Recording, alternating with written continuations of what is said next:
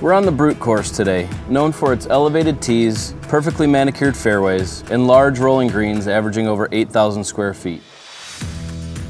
We're on the third hole of the Brute today, and while the Brute is known for its length and hitting it long, on this hole it's more about precision. We want to stay short of the, the two ponds on the right and left hand side of the fairway. The fairway slopes pretty steep downhill, so if you fly a club 200, 215 yards, it'll roll out. It'll leave you with a short iron in your hand with a good chance to make birdie. I'm gonna try to keep it down the right side and let the contour of the fairway take it back towards the middle.